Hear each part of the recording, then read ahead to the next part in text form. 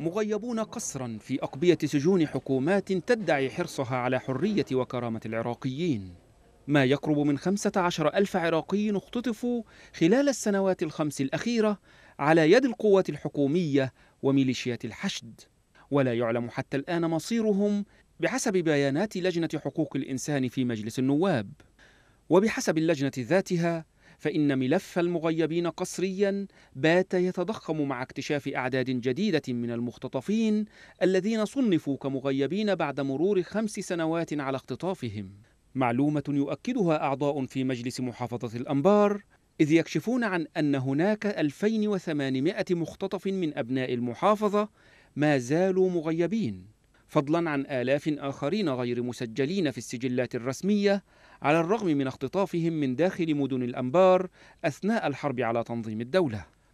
أغلب المغيبين قسرا بحسب البيانات الحكومية ينتمون إلى محافظتي الأنبار وصلاح الدين.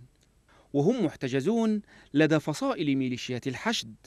كما أن أغلب المغيبين في نينوى محتجزون لدى سلطات كردستان العراق وبرغم المحاولات المتواصلة من أهالي هؤلاء المغيبين لمعرفة مصيرهم إلا أن كل تلك المحاولات باءت بالفشل في ظل لا مبالاة حكومية أو ربما إصرار حكومي على حماية ميليشيات الحشد من أي مساءلة قانونية محتملة لا سيما أن الإخفاء القسري بحسب قواعد القانون الدولي يعد جريمة ضد الإنسانية.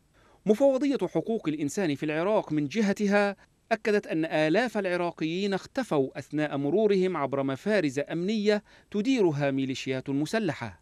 ليفتح ذلك الباب أمام تساؤلات مشروعة عن الدور الذي تلعبه تلك الميليشيات في العراق وبخاصة في محافظات غربي وشمالي العراق.